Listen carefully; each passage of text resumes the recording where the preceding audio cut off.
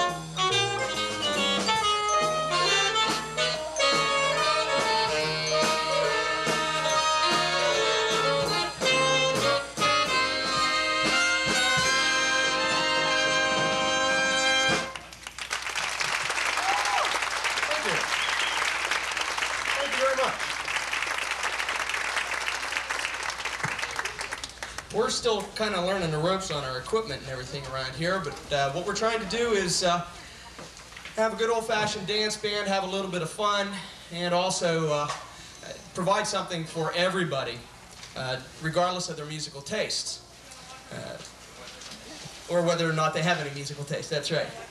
Uh, this is a fun group. Our primary objective is to have fun, so uh, we're a little we're a little loose and, and relaxed in what we do. Uh,